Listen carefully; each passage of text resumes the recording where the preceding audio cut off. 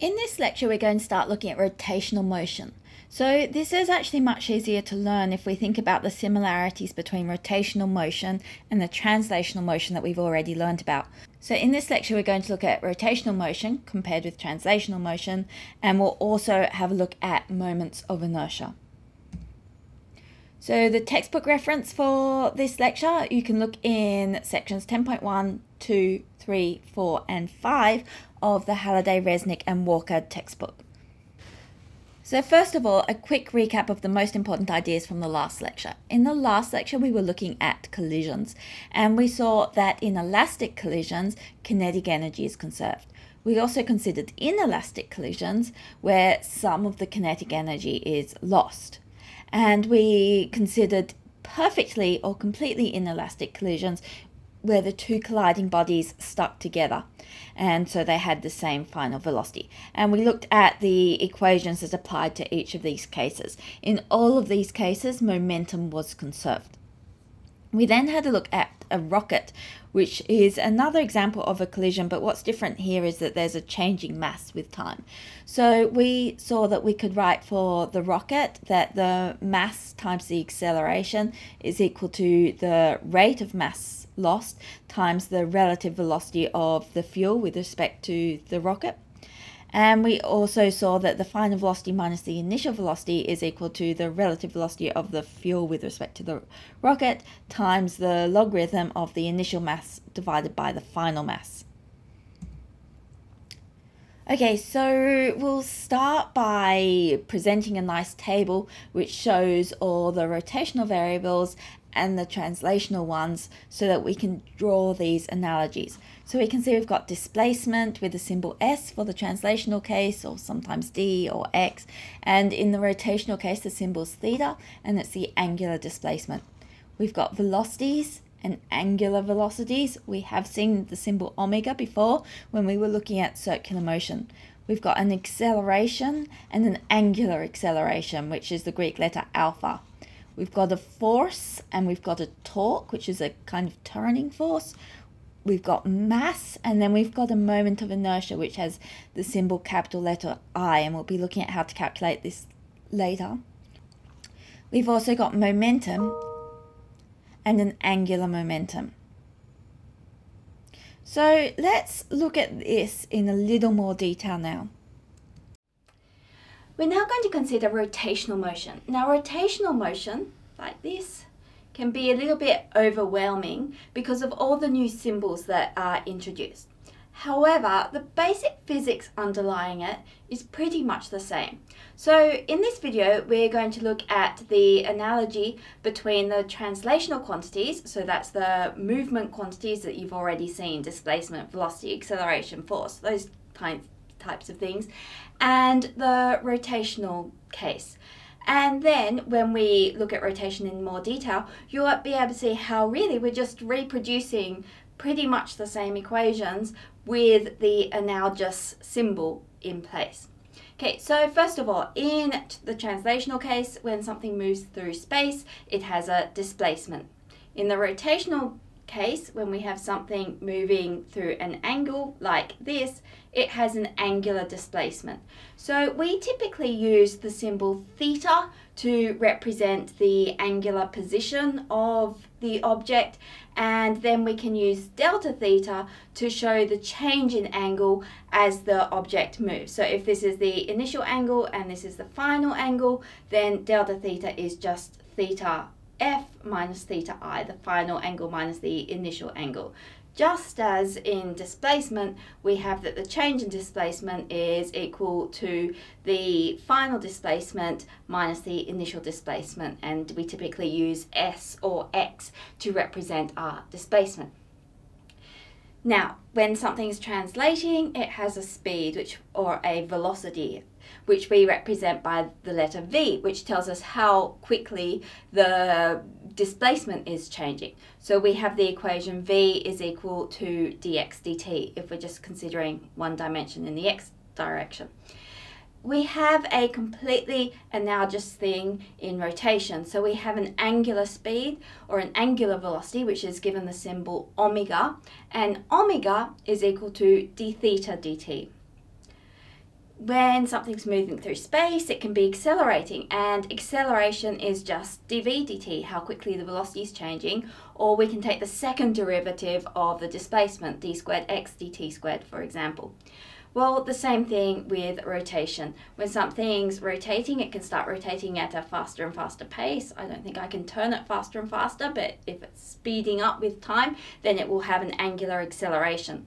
This is represented by the Greek letter alpha, and alpha is equal to d omega dt, which is equal to the second derivative of theta. So this is d squared theta dt squared. So completely analogous. Now, those ones are fairly straightforward and easy to see. Some of the quantities are a little bit harder to see. So to start something moving, we need to apply a force to it. That's what Newton's first law tells us. An object at rest will remain at rest unless acted upon by an unbalanced force. Now, if we want to get something turning, we need to apply a turning force to it, which is what's known as a torque. So torque is given the symbol tau, and it's analogous to force. Now, Newton's laws all have analogies too. So, Newton's first law tells us an object at rest will remain at rest unless acted upon by an unbalanced force. Well, Newton's first law for rotation says an object not rotating will remain not rotating unless acted upon by an unbalanced torque. And we have the similar rules for Newton's second law and Newton's third law. Now, another not so obvious one is mass. So, the amount of force will accelerate an object and the amount of the acceleration will depend upon the mass of that object. Well, in rotational motion, rather than the mass, it's the moment of inertia that is important. So the moment of inertia is given the symbol I, and we'll look at more examples of how to calculate this later, but I is equal to the integral of r squared dm. So what this is telling us for rotation is that it's not just the amount of mass that it's that is important. It's also r, which is the distance from the pivot point, which is important. So if we have a mass further from the pivot point, then it's going to have a greater moment of inertia, and we are going to have to apply more torque in order to get it to move. And finally, in the translational case, we've seen that we have momentum. We've got a similar quantity called angular momentum in the rotational case. So hopefully using these analogies as you work through this topic will show you that really this is just the same thing again, just with slightly different letters. So these analogies actually follow through to the kinematic equations as well. So for example, we've got our kinematic equation V is equal to U plus AT. Now this has a rotational analogy. We can write omega, the angular speed, is equal to omega naught, the initial angular speed, plus the angular acceleration times time. Similarly, we can write v squared is equal to u squared plus 2as. In the rotational case, is omega squared is equal to omega naught squared plus 2 alpha theta, where theta is the total angle through which it's moved in radians. And finally, we've got s is equal to ut plus a half at squared, which we can again write as theta is equal to omega naught t plus a half alpha t squared. What we're going to look at now is how we can relate linear variables to angular ones. So we've seen the analogy between the two, but now we want equations which have both types of quantities in it so that we can convert from one type to another type. So when we're considering distances travelled, the way to do this is actually with the arc length of a circle. So if something's undergoing circular motion, moving in a circle, then it's tracing out a circular path. And so the distance it's travelled, s, is related to the angle it's turned through, theta, through our equation s is equal to theta r, where r is the radius of the circle s is the distance it's travelled through and theta is the angular displacement, so the total angle it has travelled through. Now, to relate the velocity to the angular velocity, we can just differentiate this equation. So when we differentiate the distance it's traveled, we get the speed. So ds dt is equal to v. And then when we differentiate the right hand side, we've got the derivative of theta r with respect to time. Now, when we're considering something undergoing circular motion, the radius which it is at is not changing. So dr dt is just zero because r is a constant. So this tells us that when we're doing the derivative of theta times r, this is the same as r times d theta dt. And we've seen that d theta dt can just be written as omega. So this gives us the equation v is equal to r omega, which we saw when we were looking at circular motion previously. Now acceleration gets a little bit more confusing because we have two different types of acceleration. So before, when we were looking at uniform circular motion, which means circular motion where it's not speeding up, it's got a constant angular speed, we saw that the acceleration was directed back towards the center of the motion. So that is a radial acceleration, which we also call the centripetal acceleration. And the centripetal acceleration, same thing as the radial acceleration, is equal to v squared on r. So any object moving around the circle at any speed has a radial acceleration directed towards the center of the circle, which is given by v squared on r. If the velocity is changing, then this centripetal acceleration will also be changing with time.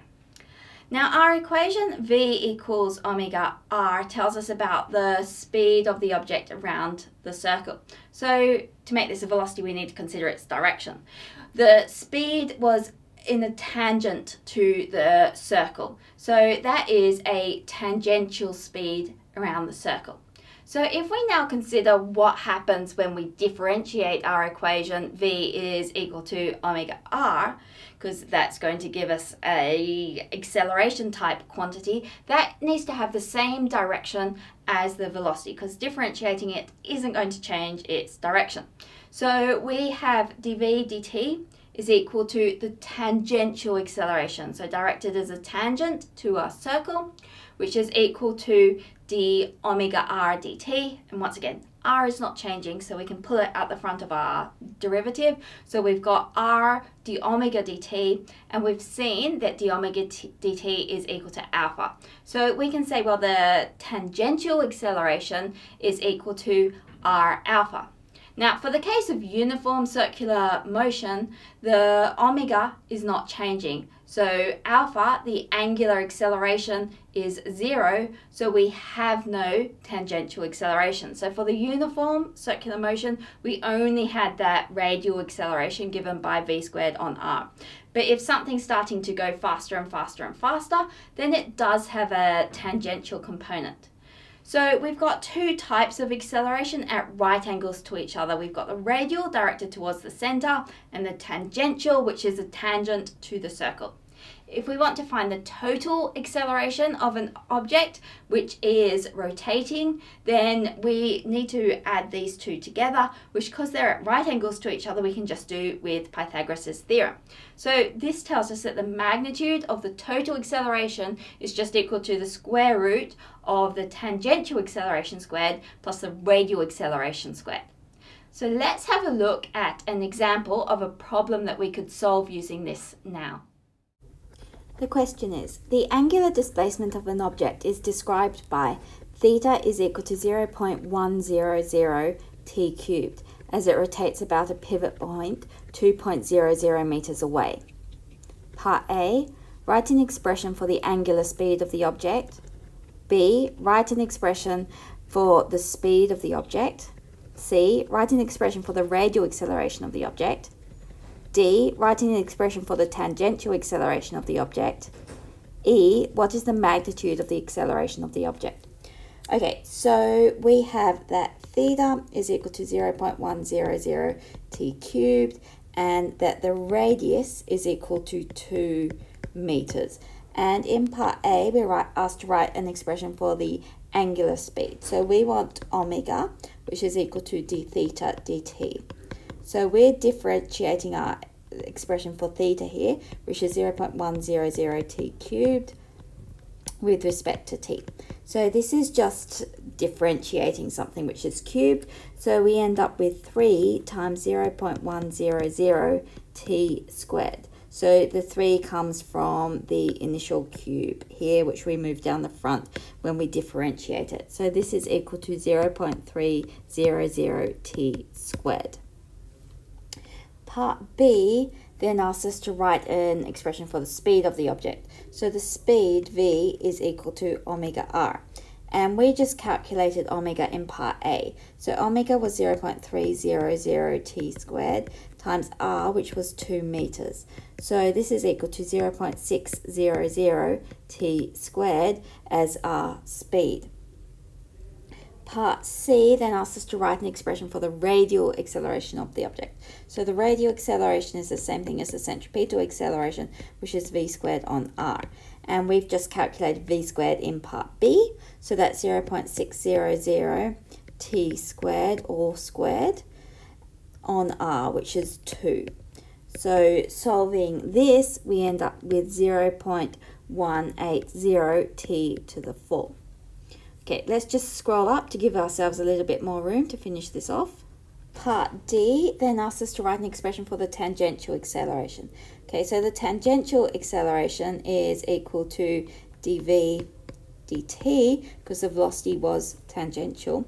And so this is equal to d omega r dt, which is equal to r d omega dt, which is equal to 2 because 2 is r times d omega and omega we found in part A. So this was 0.300 t squared dt. So this is 2 times the 2 and that second 2 comes from here.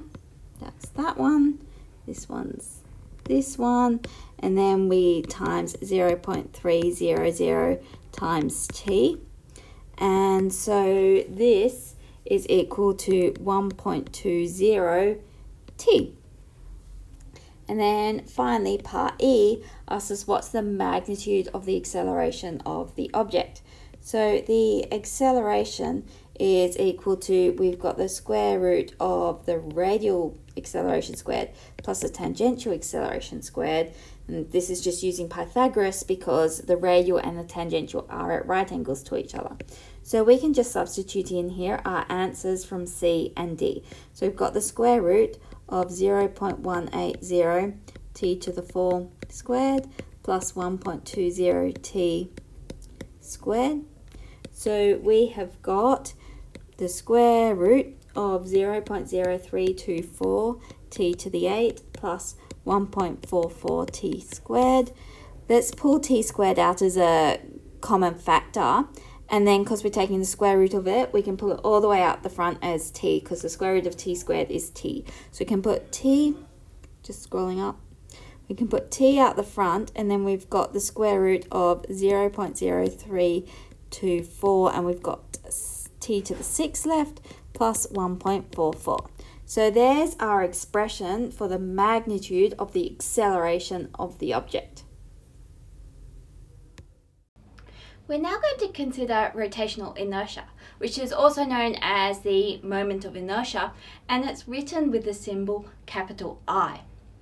The moment of inertia of a body relates to how hard it is to start the body spinning, so how much torque we have to apply to get it to start turning. So when you think about it intuitively, you know that if we have two masses which are quite far from a pivot point, like in this case here, it's a little harder to get it to spin than if we move the masses closer to the center. In this case, I can apply less torque, which is the turning force, in order to get it turning.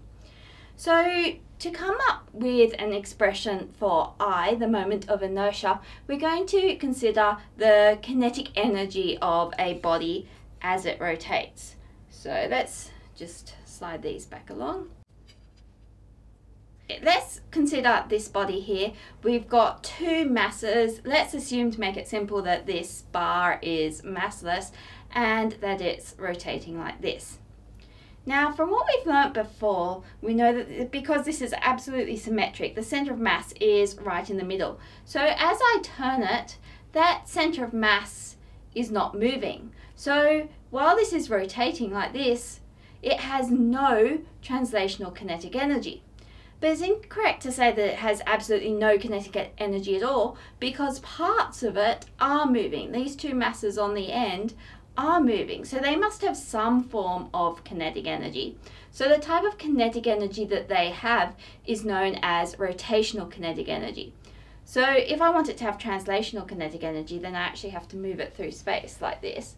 But while it's just stationary, it has only the rotational kinetic energy.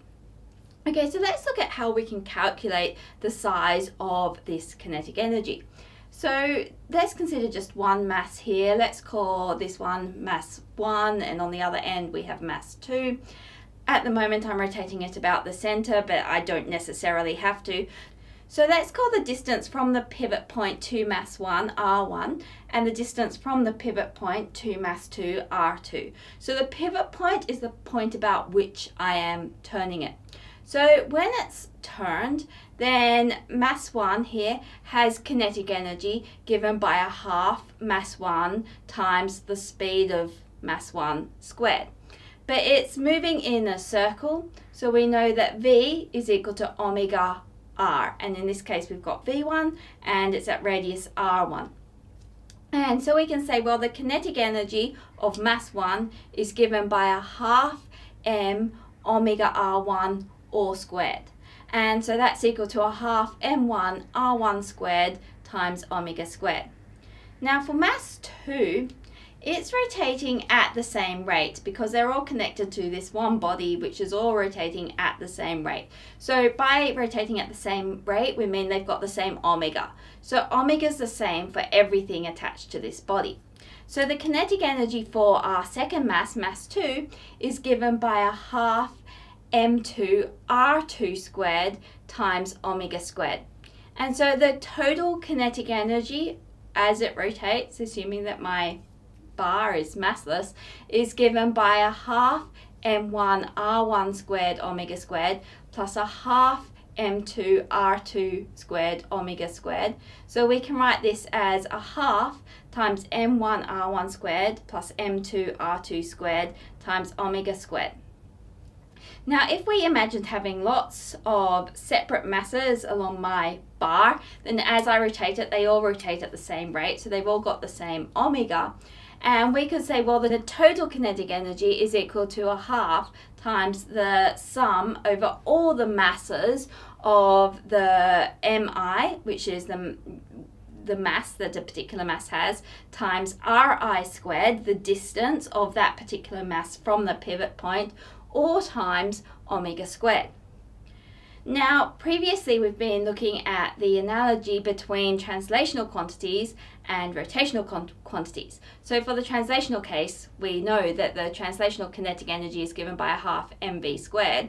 And here for the rotational case, we've got that our rotational kinetic energy is given by a half times the sum over i, mi, ri squared times omega squared. And we know that the angular equivalent of the velocity is the angular velocity, omega. And so it suggests that that sum is something special and is equivalent to the mass. So that sum is in fact our moment of inertia. So we can say, well, the moment of inertia I is equal to the sum of mi ri squared summed over all the little masses involved. So that's what our moment of inertia is. Now let's at this point assume that our rod is no longer massless. If we wanted to work out the moment of inertia of this rod as we pivoted it about one end say, what we'd need to do was sum up the contribution of each of the little points along the rod and so when we do that, we're going from a sum into an integral because an integral is just a sum where we break it into really small components. So for continuous bodies, we can say the moment of inertia is given by the integral of r squared dm, which is equivalent to our sum over i of mi times ri squared. So now we've seen what the moment of inertia is, let's have a look at how to calculate it for a few different shapes. So let's start with the simple case of two masses, both mass m, and each a distance r from the pivot point about which the system turns. So in this case, because we've got discrete masses rather than a continuous mass, we're assuming here that this bar is massless, we can say, well, I, the moment of inertia, is equal to the sum over lowercase i, mi ri squared, which in this case, we've just got the two masses, both at the same radius r. So this is equal to mr squared plus mr squared, which is all equal to 2 mr squared. So that is how we calculate the moment of inertia of two point masses. Now let's consider a rod. A rod is a little bit more complicated because it is a continuous mass distribution. We've got mass all the way along the rod. So we're going to make the assumption for our rod that it has a constant linear density. So the linear density is the same all the way along the rod. Now, linear density we tend to represent in physics by the symbol lambda, and it is literally the mass of the rod. So if I weighed my ruler on scales and got that mass, that mass divided by the length of the rod. So in this case, it's a meter ruler, so that length would be one meter. So lambda is equal to m on L.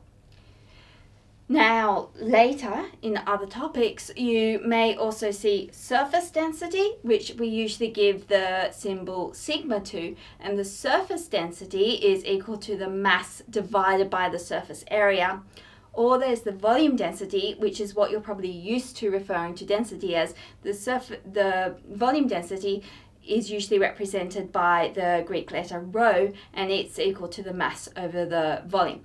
But when we're considering something where the mass is just spread out evenly in one dimension, it's easiest to use the linear density. Okay, so what we'll need to do in this case is use our formula to calculate the moment of inertia. We'll be using I is equal to the integral of r squared dm. And if this rod is pivoted about one end, we'll be breaking our meter ruler, in this case, up into little increments, each with length dl and mass dm, and then we'll be summing up those increments all along the rod to get our total moment of inertia. Okay, so we're considering a rod which is pivoted about one end like this. So in our formula for the moment of inertia, I is equal to the integral of r squared dm. r represents the distance from the pivot point. So this is our pivot axis here. So this end here is at r equals 0, and this end here is at r equals L if our rod has a length L, which we're assuming it does and we'll let the rod have a mass m. Now, what we want to do is approach this question much like we approach the center of mass problem. So what we'll do is consider a little increment of the rod here. So we'll let this little increment have a length dr and a mass dm and it is a distance r from our pivot point. And what we want to do is work out, well, how does this little bit and we want to work out, well, how does this little bit contribute to the moment of inertia? Well, it contributes a little bit. So the little bit it contributes is di, and that is equal to its distance from the pivot point squared. So this is r squared, not dr. dr is the length of the increment, but in our moment of inertia formula here, this term is referring to the distance from the pivot point. So that's an r squared. There's no dr there and then it's times the mass of this little increment and we've said well that little increment has a mass dm so this is how much that little increment contributes to the moment of inertia so now if we want to work out the total moment of inertia along the rod, what we're going to need to do is sum together all of these little increments. So we will then have, well, I is equal to the integral of r squared dm. And in this case, we're summing from one end of the rod, which is at r equals 0, up to the other end of the rod, which is at r equals L. And now we've got this r squared dm in here, which is a bit inconvenient to deal with because we've got a dm and an r, and how does r relate to dm? We'd need to know that in order to be able to solve this integral. So in order to work out how they relate, and useful quantity is the linear density. So the linear density has the symbol lambda, and this is the linear density. And it is equal to the mass divided by the length. So we've got both the mass and the length in this case. Now there's a couple of other densities that you will come across in physics. We've got a surface density, which is represented by sigma, which is equal to the mass divided by the area. And then we've got our usual density, which you've seen before, rho. This is equal to the volume density. And it is equal to the mass divided by the volume. But the one we want to use right now is lambda is equal to m on L. And how this helps is, well, that lets us come up with the amount of mass that little increment dr has. So we can write, well, the mass of something, just rearranging this formula, is equal to lambda times L. So that tells us that the mass of our little increment is equal to lambda times the length of our increment, which we've said is dr. So now we've got a relationship between dm and dr. Now, in this case, we were assuming that our rod had a uniform density, so lambda is just a constant. It is possible to get questions where lambda's varying. So if a rod is getting, say, thicker as you move along its length, then it will get heavier as you move along its length. And lambda could be some function of the distance from the pivot point r instead of just a constant. But we'll just stick to the nice case where it is constant. So what we want to do now is substitute this expression here into here.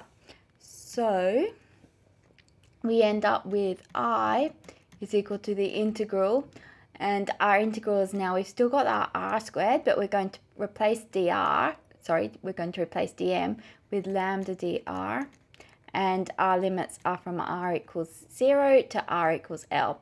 And that's good now our limits are in terms of this variable here the dr. So that's what we wanted now because lambda is just a constant, we can pull it out the front of our integral. So we have lambda times the integral from 0 to L of r squared dr. So we have lambda, now integrating r squared, we have r cubed on 3, and we're going from 0 to L. So this is equal to lambda times L cubed on 3. When we substitute in the 0, we just end up with 0. Okay, so that's a fairly nice expression, but we can make it a little bit nicer by looking up the top here. We said lambda was equal to m on L. So I'm going to replace this lambda now with m on L. So I've got m on L times L cubed on 3. So these L's cancel and I end up with ml squared on 3. So I equals ml squared on 3 is the moment of inertia of a rod which is pivoted about one end.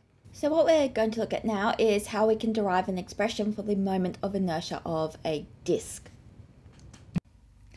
So we're going to start by considering a disk. The disk we're considering has a total mass capital M, a radius capital R, and a height h. So we're going to be calculating the moment of inertia I, which we've seen before is equal to r squared dm. And so with our disk, we're going to break it up into little rings. So let's consider a little ring like this. And our little ring has a width here, dr, and it's located a distance r from the pivot point from the center of the disk about which the disk is spinning. So in order to substitute into this equation here to work out how this little ring contributes, we need to know the mass of the little ring. So dm is equal to mass of little ring and that will be equal to the density of the ring which we're assuming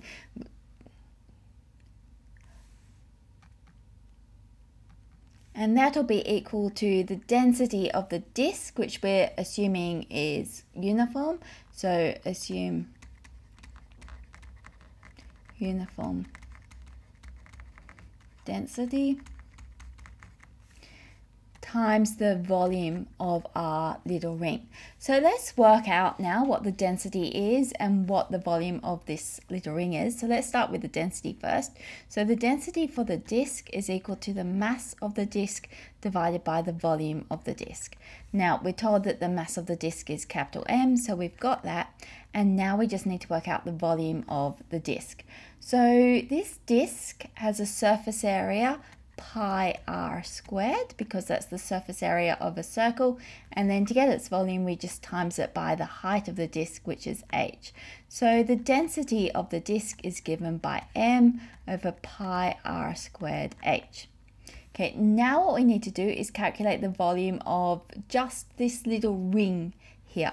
So dv, let's imagine if we can taking this little disc, uh, this little disc here and spreading it out. So it is a rectangle when we spread it out. It's got a width dr along here, so that's this width here. We've just uncurled it. It's got a length here equal to the circumference of the circle. So this length here is 2 pi r and it's got the same height as our disk. So it's got height h. So hopefully from considering it this way, you can see that the volume is going to be given by 2 pi rh times dr. So now that we've got the volume and the density, we can work out dm. So dm is just multiplying these two things together. So we've got the density, which is capital M over pi r squared h, and then times the volume of our little ring, so 2 pi r h dr. Now some things will cancel out. We can cancel out our pi, we can cancel out our h. These r's are different r's. So this R here shows the distance of our little ring from the pivot point, the center of the disk. This capital R, that's the total radius of the disk. So this is equal to 2m r dr over r squared. So now that we've got dm in terms of r, we can substitute it into our equation up here for the moment of inertia of a disk. So we've got the total moment of inertia. Now we will want to sum up our little rings right from the center with radius 0 to the outer radius, which is capital R. And then we've still got the r squared. This r squared is this r squared at the start times dm, which is 2m r dr over r squared. Now let's pull the constant terms out the front. So out the front we've got our 2m on r squared. This is capital R, so it's not a variable, it's the total radius. And then we're integrating from 0 to r, and we've got little r squared times little r, so that's r cubed dr. So doing this integration, we've got the 2m on r squared, and then when we integrate r cubed, we end up with r to the 4 on 4. And this is from 0 to capital R. So now we can substitute this in. And we've got 2m on r squared times r to the 4 on 4. When we substitute in the 0, we just get 0. So when we subtract that off, it doesn't change it. Okay, so let's just simplify this a bit. We've got an r squared here, so we can cancel that with two of the r's here. So we've got an r squared here. We've got 2 here, which will cancel with this 4 to leave 2. So this is equal to mr squared on 2, or a half mr squared. And we've now derived the moment of inertia of a disk. Now another thing it's useful to know the moment of inertia of is a sphere. The derivation of this one is more complicated, so I'm not going to include it in this video. However, I have made a separate video covering it, which you've got the link to here. So in this video, we show that the moment of inertia of a sphere, when it's turned about the central axis, is given by 2 fifths mr squared. So in this problem, we're asked to find the so in this problem, we're told that the angular speed of an object is given by the expression omega is equal to 2t plus 3 radians per second. And we're told that at t equals 0, the object is at theta equals 0. And we're told that the object moves around a path with a radius of 3 meters. And in part A, we're asked to write an expression for the angular displacement of the object. Part B, write an expression for the angular acceleration of the object. Part C, write an expression for the tangential acceleration of the object. Part D, write an expression for the radial acceleration of the object and E write an expression for the magnitude of the acceleration of the object and you do not need to simplify your expression. So in this one we're told that omega is equal to 2t plus 3.0 so that's the angular speed and at t equals 0 theta is equal to 0 and the object moves around a path with a radius of 3 meters.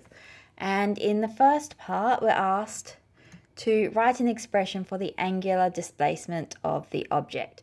So what we're trying to find is an expression for theta.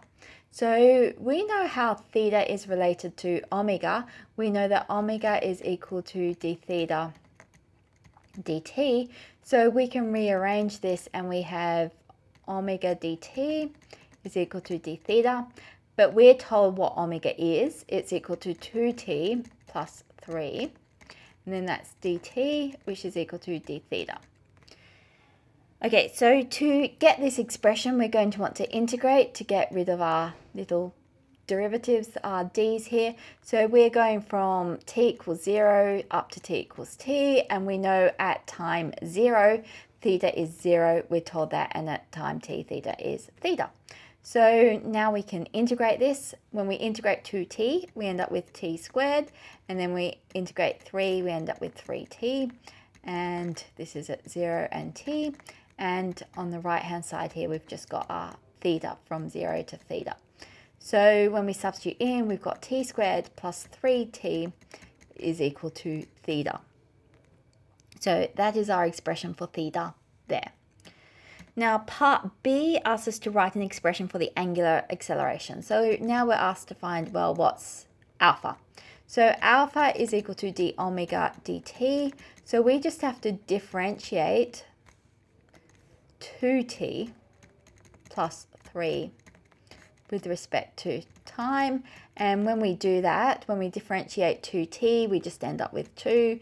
And when we differentiate 3, that goes to 0 because it's just a constant. So our angular acceleration is equal to 2 radians per second per second. And then part C asks us to write an expression for the tangential acceleration of the object.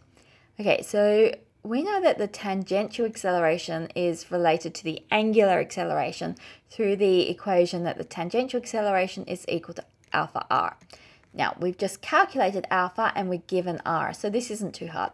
So we've got 2 times 3, and that is equal to 6 meters per second per second. Now, in part D, we're asked for the radial acceleration. So the radial acceleration is the same thing as the centripetal acceleration. And we saw when we were looking at circular motion that that is equal to omega squared r. And up here we've got our omega. So this is 2t plus 3 and then that's squared, that's omega squared, times r, which is 3 meters. So let's expand our brackets because that's fun. So 2 squared, that's 4t squared, plus 3 times 2, that's 6. And then there's two of them, so that is equal to 12. And then plus 3 squared, which is 9. And then times 3. And so this is equal to 12t squared plus 3 times 12, so that's plus 36. t plus 3 times 9, which is 27. And so that is our radial acceleration. So that's directed back towards the center of the circle, whereas the tangential one is directed at a tangent to the circle. Okay, and then finally E asks us to write an expression for the magnitude of the acceleration. And we're told that we don't need to simplify this expression, which is nice of the question to say that. So the magnitude of our acceleration, we've got the radial one, which is going back towards the center, and we've got our tangential one, which is at right angles to it, a tangent. So to get the magnitude of the acceleration, we just need to use Pythagoras here. So we've got the radial squared plus the tangential squared and we've calculated both these things. So the radial squared, that is equal to 12.0 t squared plus 36.0 t plus 27. And then we've got plus 6 squared. So 6 squared is 36. That squared, left off that squared. Okay, so we could go ahead and expand the brackets and everything, but it told us that we didn't have to bother simplifying it. So let's leave it in that format. So in this problem, we're told the bar starts from rest and rotates with constant angular acceleration about an axis located in the middle of the bar to reach an angular speed of omega in t seconds. The bar has a moment of inertia I. For a bar of length L and mass m pivoted through its center, the moment of inertia is given by 1 12th ml. And we're asked to, in part 1, write an expression for the angular acceleration of the bar. Okay, so I think the easiest way to do this is to recall our kinematic equation V is equal to U plus AT and use the rotational form of this. So the rotational form of this tells us that omega is equal to omega naught plus alpha t and it's alpha that we've been asked to find and we've been told about omega in the question and we know that it starts from rest. So if it's starting from rest, omega naught must be equal to zero. So this thing's zero. So this tells us that, well, alpha is equal to omega over t. So that's an expression in terms of the variables given in the question, because in the question we're told omega and we are told t. Now in part two, it asks us the angle in radians through which it rotates in this time. So again, let's recall our kinematic equation, S is equal to ut plus a half at squared, and translate this into the rotational case where we've got theta is equal to omega naught t plus a half alpha t squared. But we know that omega naught is zero, we discussed that up there, so this one's zero. So we've got theta is equal to a half times alpha, which is omega over t, times t squared. So this is just equal to a half omega t. And then part three, we're asked what net force is acting on the bar over this time. Well, there is no net force. There's a net torque because it's starting to turn, but we're not told anything about a force acting upon it. So no net force. Don't need a net force to start it rotating. Just a net torque.